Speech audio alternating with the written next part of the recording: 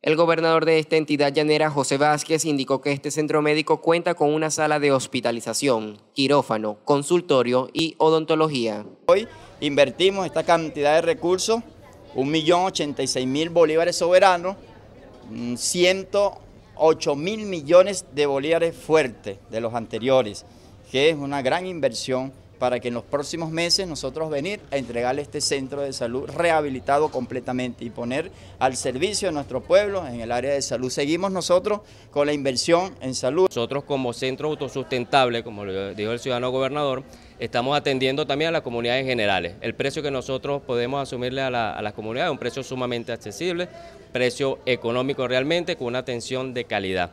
Esta clínica va a dar de qué hablar porque va a ser una de las mejores clínicas en todo lo que es el estado Guárico. Y esperemos que bueno, eh, arrancar pronto, lo más antes posible, para así atender a nuestros usuarios que cada día constantemente se acercan a la institución preguntando por, por la clínica bolivariana, porque como ellos siempre aquí se atendía a todo el que nos llegaba, esperemos en eso, esperemos en Dios y que arranquemos pronto.